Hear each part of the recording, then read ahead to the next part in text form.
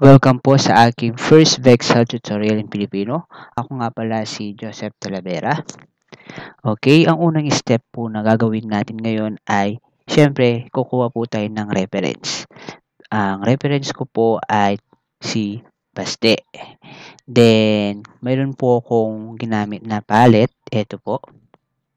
Ginagamit kong palette. Bali, yung, yung ginagamit ko pong palette is Color Asian po. Ang unang step po ay i-line art muna po.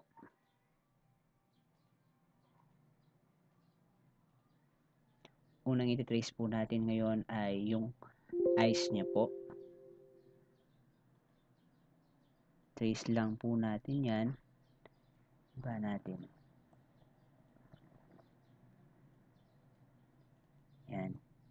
Usually po, uh, ang unang ginagawa, ginag, ang unang step na ginagawa ko ay yung eyes muna po. Then, tsaka na po yung ibang mga details. Ganito lang po yung step na gagawin. Is, i-trace lang po yung yung sa reference. Bali, ito na po yung kalalabasan. Tuloy po natin. Click natin po yun para mag-add po.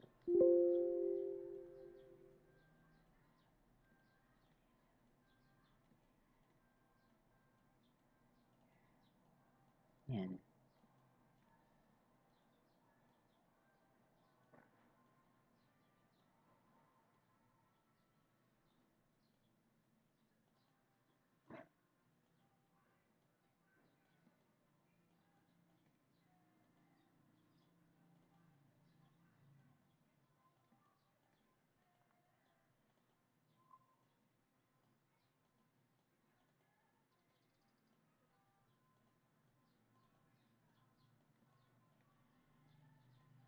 Yung eyelashes po. Kailangan kahit hindi rin po yung exact yung sa reference uh, pwede mo nasa yun para magkaroon siya ng details.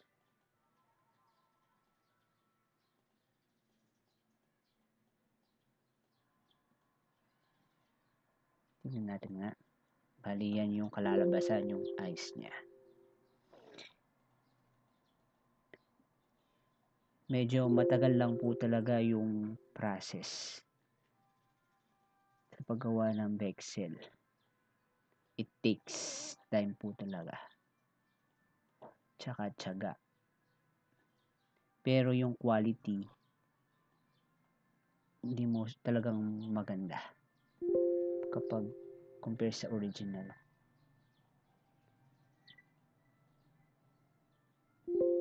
Then, tapos na tayo sa ay sa isang ano naman po.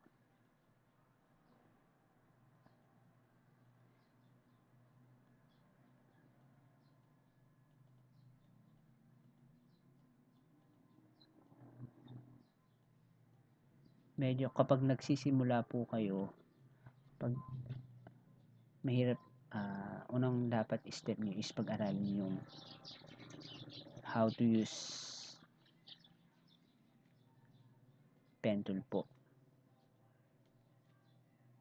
Wait, nagkamali po ako. Delete lang po natin. Kasi dapat isang layer lang po. Delete layer. Kasi pwede ka pong magdagdag ng kahit using isang layer lang po yan. Click nyo lang po tapos ito para mag-add ng details. Para hindi po siya doble-doble yung layer. Bali, ito po yung first video tutorial ko po in Filipino. Bali, gusto ko rin po kasing i-share yung talent ko kung paano ginagawa yung proseso, kung paano yung hirap, hindi naman basta-basta gumagawa. Pero pag, nung una talaga actually, mahirap pag first time. Pero, Actually, marami naman po akong nagawang artwork eh. Uh, check mo nyo po yung aking account sa behance.com po, ay .net. makikita nyo po yung mga iba't ibang artwork ko po.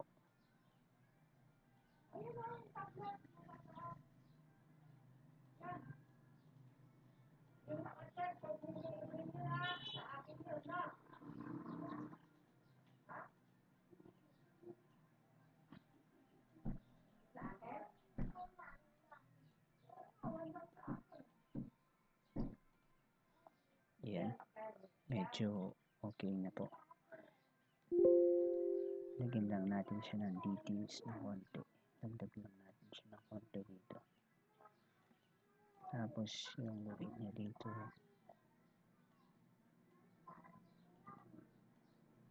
Pasensya na po kasi ito first time ko pong gumawa ng video tutorial. So, hindi ko alam kung paano i-explain. So, hope na nakakasunod po kayo. Nasa uh, ano na naman po yun eh. Next po is yung tapos na po tayo sa eyebrow naman po. Dito tayo muna sa eyebrow. Medyo mahirap lang po yung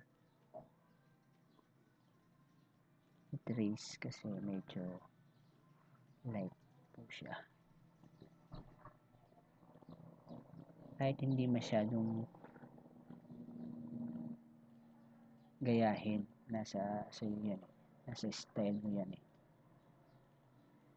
Sa akin kasi yung unang uh, kasi nung una po, kung beginner po, po ako ay talagang yung goal ko is makagawa lang kahit hindi siya kamukha yung reference.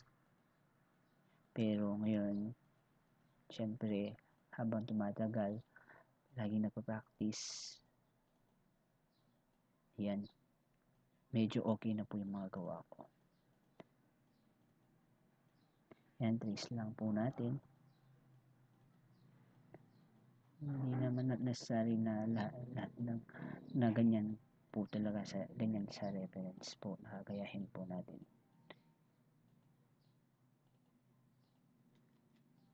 para uh, hindi tayo mahirapan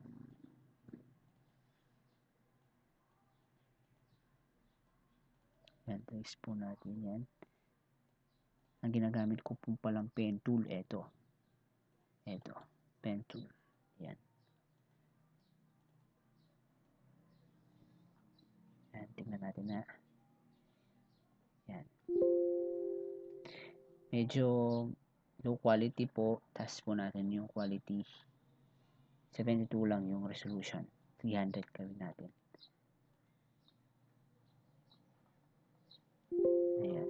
Medyo luminaw na po. Huwag natin pong kakalimutan mag-save po save po natin siya sa mga sa artwork ko sa backup artwork yan ito lang po natin paste tutorial. Save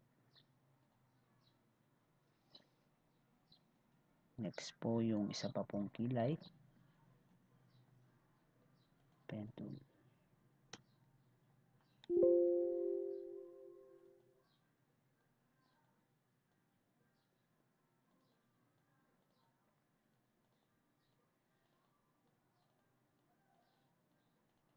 Trace lang.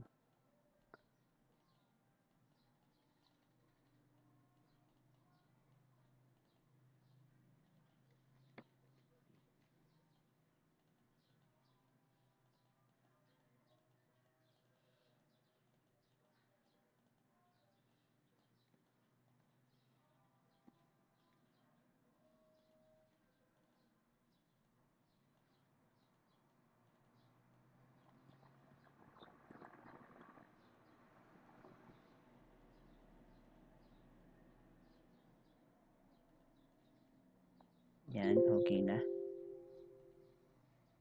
Next naman po is yung sa nose.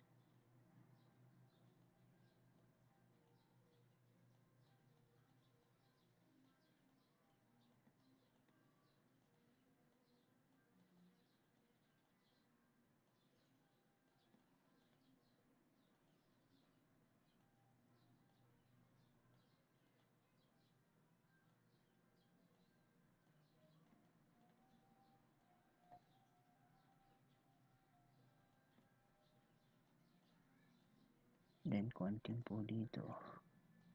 Details.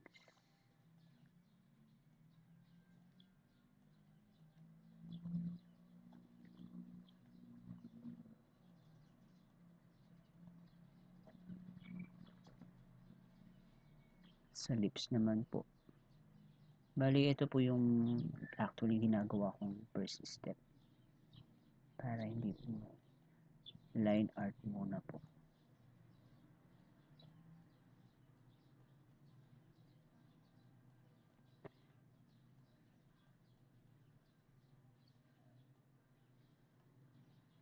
natin na giggles dito. Ganito lang po yung step na ginagawa ko po. Konting giggles dito. Wala naman pong standard eh sa paggawa. Nasa sa'yo yan kung paano. Paano mo gagawin. Serious naman po.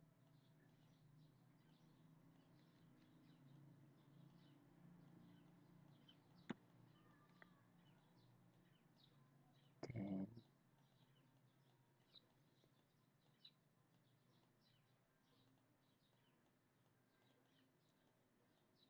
kapag beginner po kayo da- dapat ah, unang matutunan yung step is yung paano gamitin yung pen tool o yung mga tools. Hindi lang siya pen tool kundi yung mga tools dito po. Then medyo sorry sorry. Medyo okay na. Wala pa yung details. Sa buhok naman po yung gagawin natin. Trace lang natin sabi nila yung pinakamahirap na gawin yung here actually yes nahihirapan ako sa una. Talaga. Hindi ko alam kung paano gamitin yung kung anong step. So tuturo ko kung paano yung ginagawa ko usually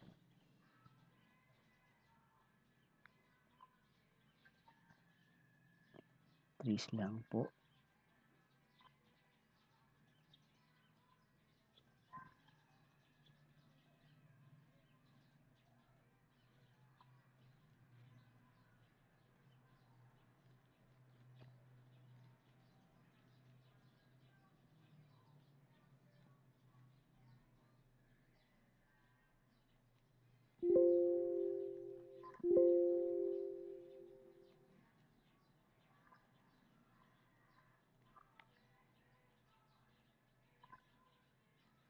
Kaya ginagawa ko yung sa kasi may may nakakat siya. So ginawa ko siya para maging buo. Mamaya sige ma- i-explain ko mamaya kung paano bakit ko ginawa yun. Ginawa ko to.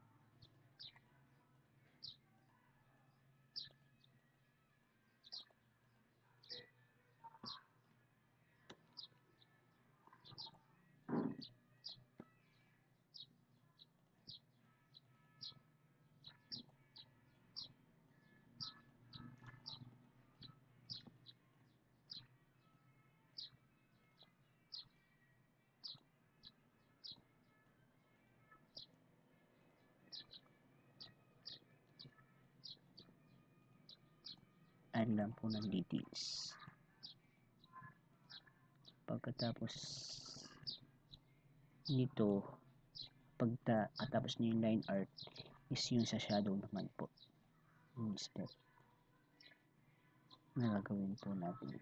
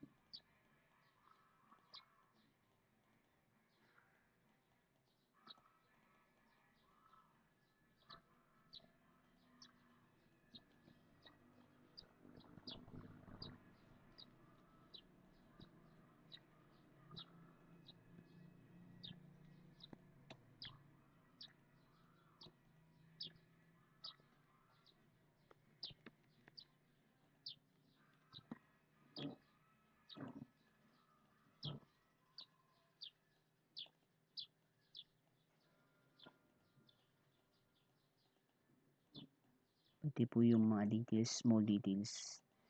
Nasa iyo yan kung paano po gagawin po. The more na maraming details, mas maganda. Para makita po yung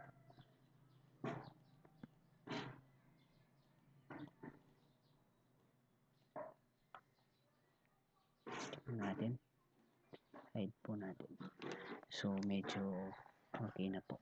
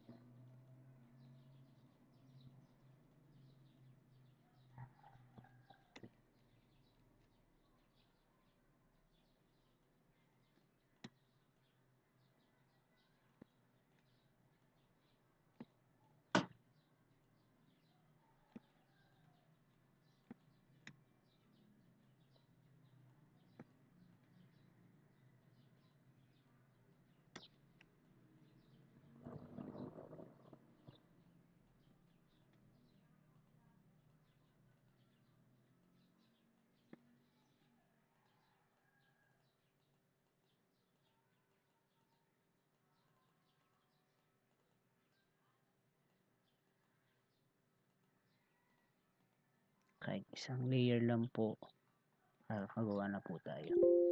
Lagyan po natin siya ng white color yung sa mata para makita po natin details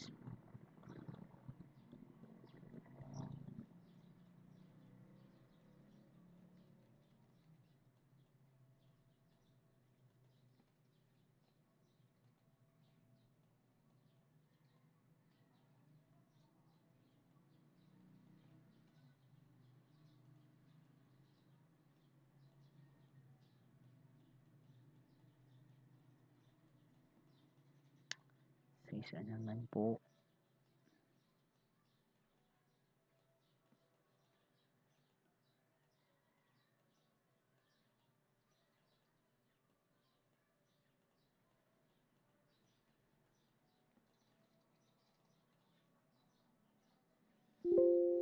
Ayan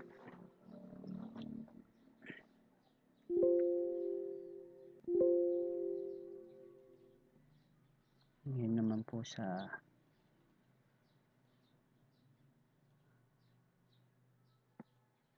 sa damit po. Bali sa damit nasa iyo po kung paano yung style po. Ano pong kulay. Ito po yung ginagawa ko pa sa color sampler. Ayan I'm sorry. Eyedropper.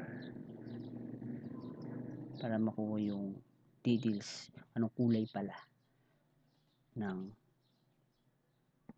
damit?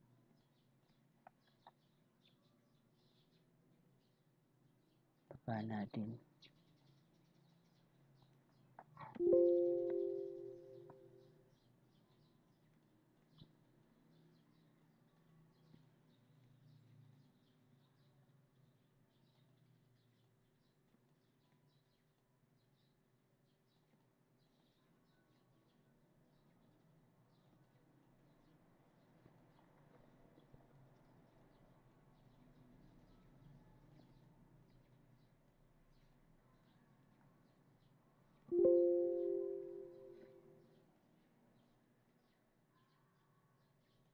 oops, mali.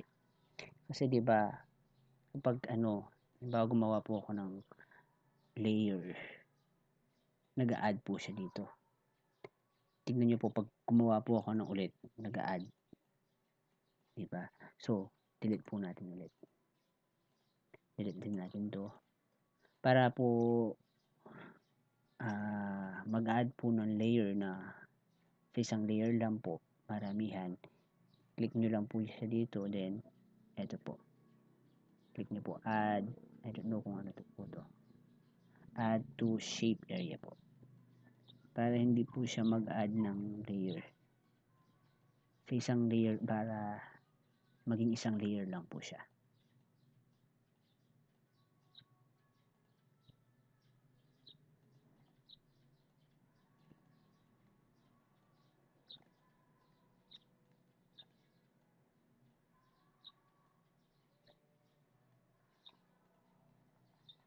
Ayan po. Next po yung yung base color po ng skin po. Bali gagawin ko ang gagamitin ko po ay yung Pal Pallor Asian. Ito po. Marami pong color palette na pwedeng i-download po o kahit saan po sa Google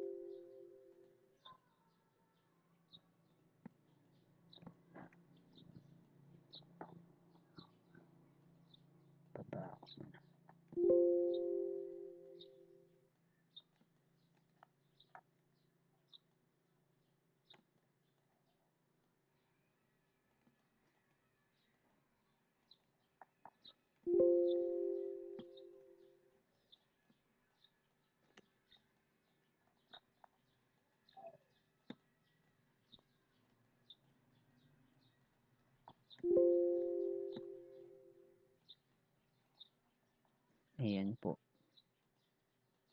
Medyo hindi pa nakita yung details. So, kasi wala pang shadows. Medyo listen natin po ng konti dito.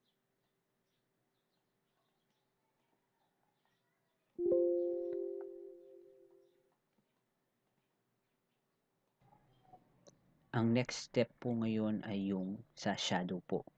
Bali, kung ito po, titi, para ititrace po natin yung mga shadows po. So, para makita po yung details ng shadow, is dupl duplicate nyo muna po para yung original di po siya maano magalaw. Then, click nyo po yun yan. Pagkatapos, sa image, adjustment, posterize. Yan. Usually, ginagamit ko dyan 4 muna po. 4. Then, unang step po dyan, yung sa shadow, i-trace po natin yan, ay yung dark muna po. Bali, next po yung kiklik niya. Siyempre, ito po yung ginamit nating na uh, coloration, yung base color, yung sa center. Ngayon po, sa dark colors po, ang gagawin natin, ang gagamitin natin ito. Ito rin po.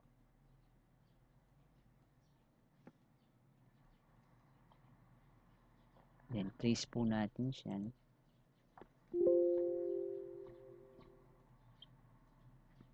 Tracing lahat po yan.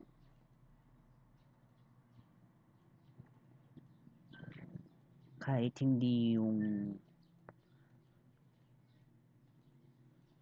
yung details niya, hindi mo gayahin. Kasi hindi mo naman kailangan gayahin lahat eh. Nasa iyo yan.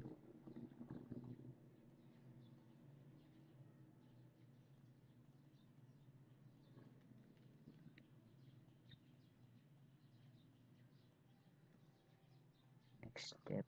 Add po tayo ulit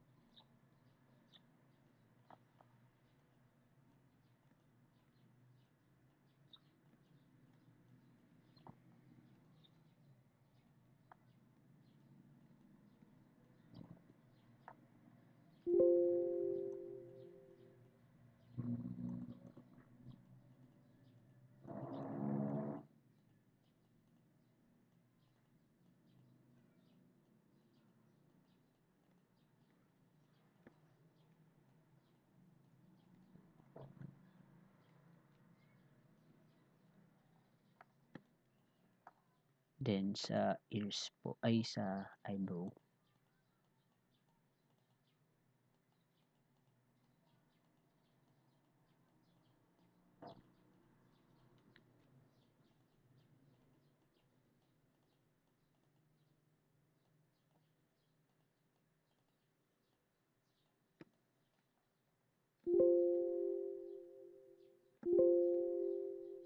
Then, ayun na po ne. Bali, ina-adjust ko po yung color. Usually, opacity po. Yan, di ba yung 100% po siya dito. Gagawin natin. Usually, iba-iba po kasi nasa style po ninyo. 45%. Yan. Tapos po, makita po natin dito sa naka-posterize, meron siyang light po dito light po dito. Then, kailangan natin siyang alisin maging white. Kasi dito, pure siya. Gagawin natin po, kiklihan po natin dito. Then, eto po. Ito pong gagawin natin. I don't know kung ano po to. Sub, subtract from shape area po. Ayan.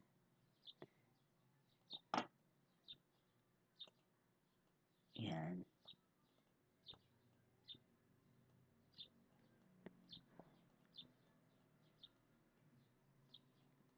Tsaka dito.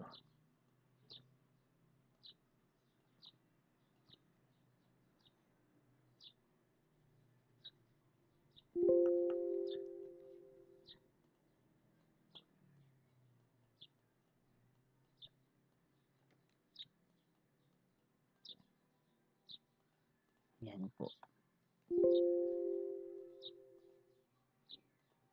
At po natin sa ears, mayroon pa po siyang details dito. Wait.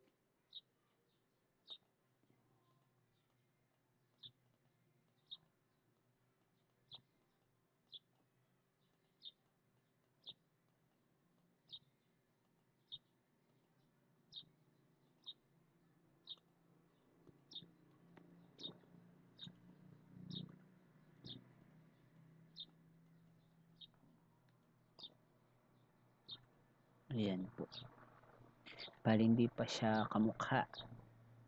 Kailangan ng details, ng maraming details po.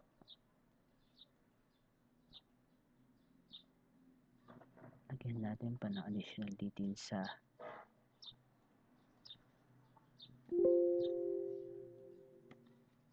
sa eyes, eyebrow niya. Ay, ay eyelashes, I mean.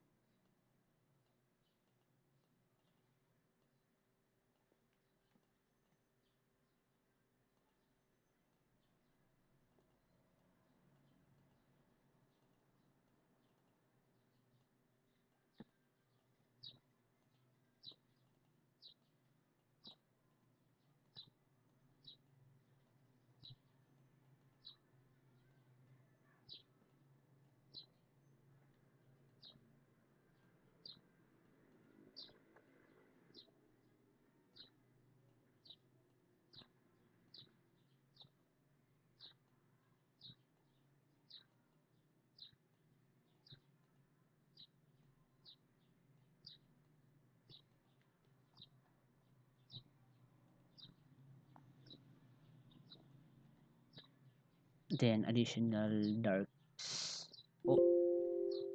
Lagyan po na siya ng additional dark.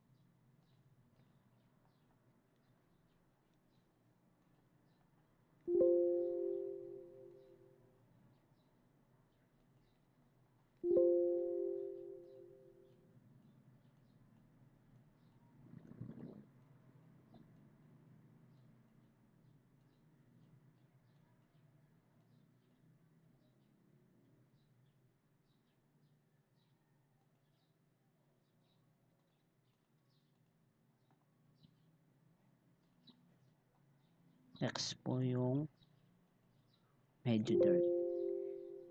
Kasi minsan, na-adjust ko rin po yung color sa dito po. Medyo dark po. Tapos po, opacity, 40, 60, 60.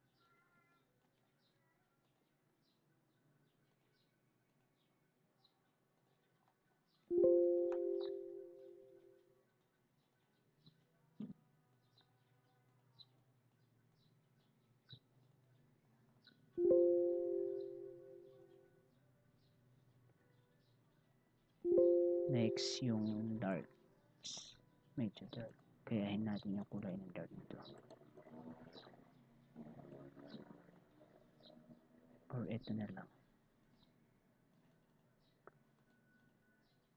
Isa kasi, nasa iyo naman yun kung kagayahin mo talaga.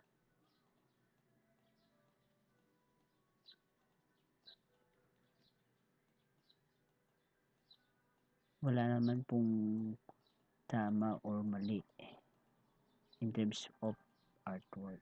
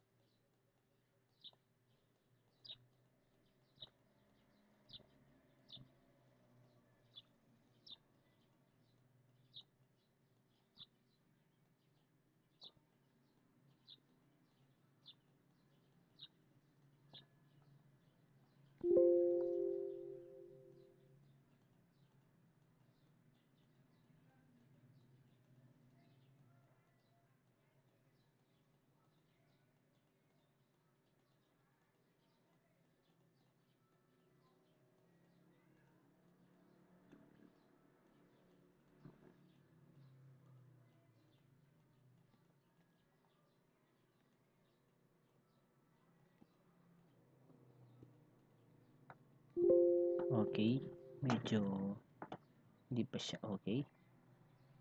So, papalitan ko lang yung kulay sa ano, dito. Medyo hindi siya nang match. So, dark lang. Next step po yung sa lights naman po. Mayroon pa po siyang dark. So, going to use another po layer po medyo dark.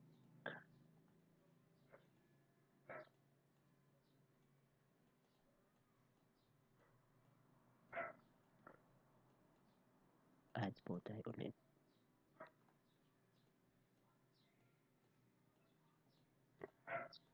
sa una lang na makikita yung syempre hindi siya una-una kagandahan pag sa unang ginagawa mo.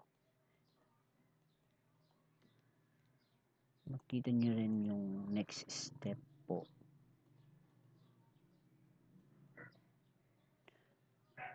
Ah, ma magiging kamukha rin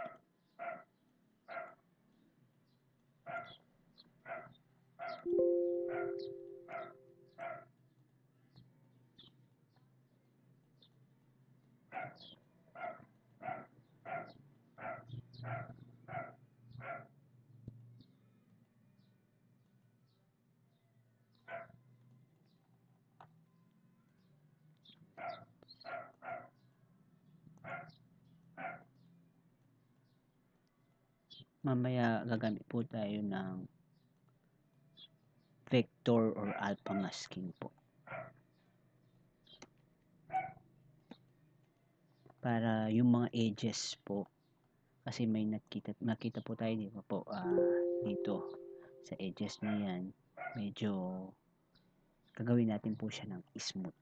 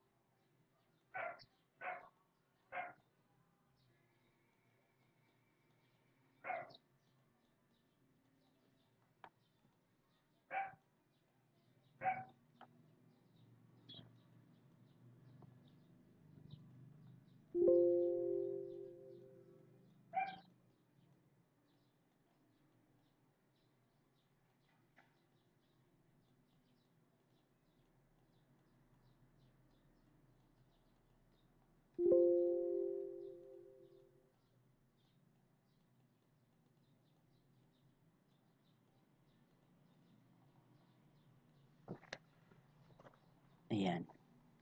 Next po yung lights naman po. Ginamit po natin na lights. Ang gamitin, ang gagamitin po natin lights ay yung coloration rin po. Nito. Minsan kasi hindi ko rin sinusundin yung ano yung lights nito.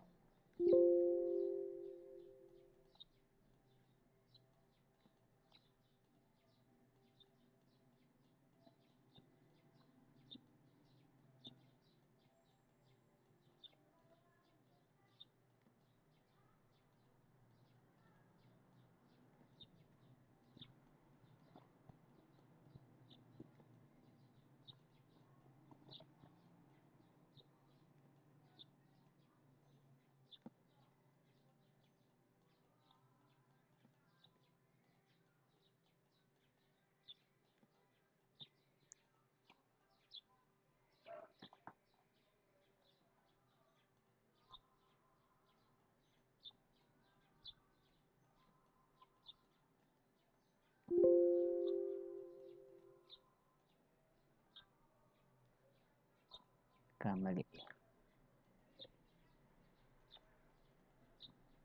Ano natin yung color nito.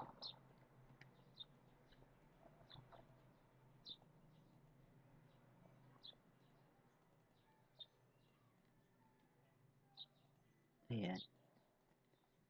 Medyo hindi siya ano tinataasan ko na lang yung light.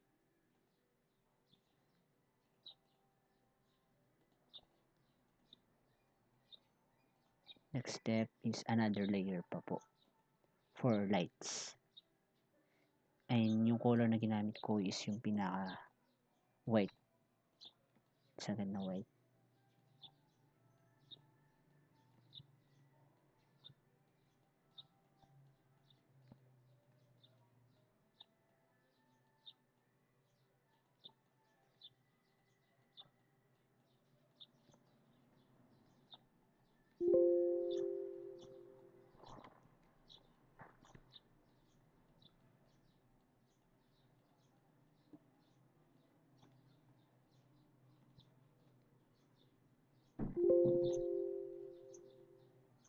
Ayan. Ayusin lang natin ng konti yung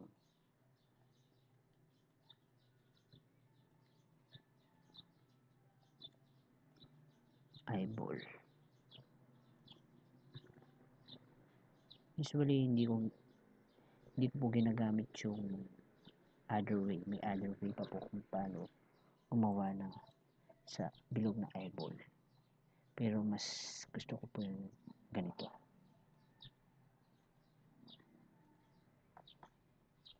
Tingnan natin siya detail dito. Usually may mga details details kasi dito.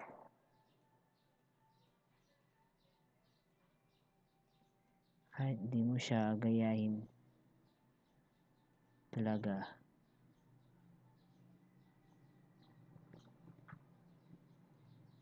nasa yun.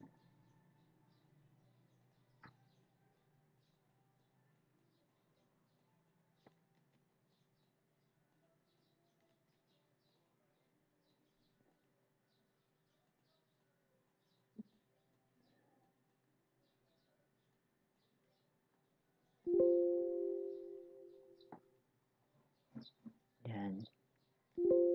Next po yung step is yung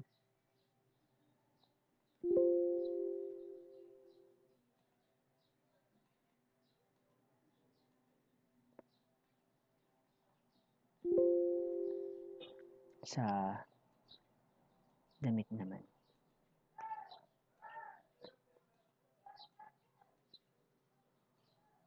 So, gagawin muna po ako ng group, i-group ko muna to. Sorry. Sabihin na natin yung shadow. Shadow. I'm sorry. Shadows. Then, next layer. Sa shirt. Dito yung shirt. Ano natin dark. Trace lang.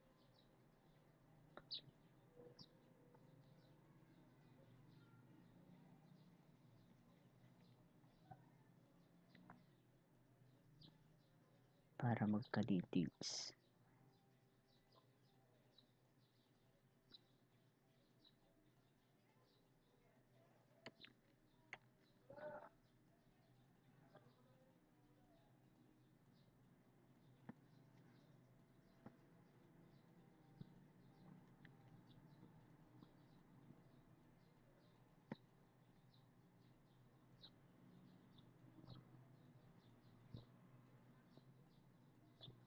Kahit di kayo gumamit ng posterize. Ginamit ko kanina, di ba? Posterize. Eto. Yan, naka-posterize yan. Nasa iyo yan kung gagamitin mo or hindi. Usually, ginagamit ko yung posterize sa ano, sa mukha, sa skin.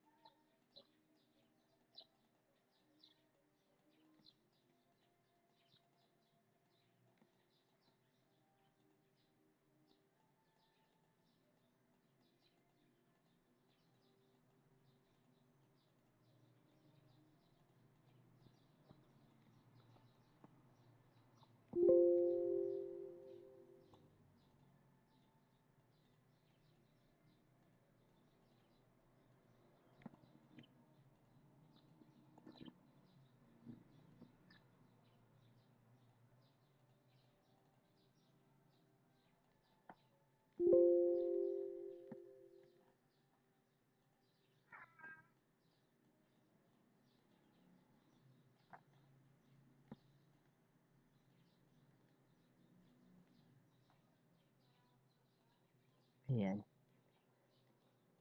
Nagka-details na siya. So, okay, hanggang dito po muna tayo ngayon. Sana po ay naintindihan niyo po. Uh, huwag niyo pong kakalimutan i-like or i-follow ang Facebook account ko po. Uh, search nyo lang po, Joseph Talavera. At sa behance.net slash separt. Maraming salamat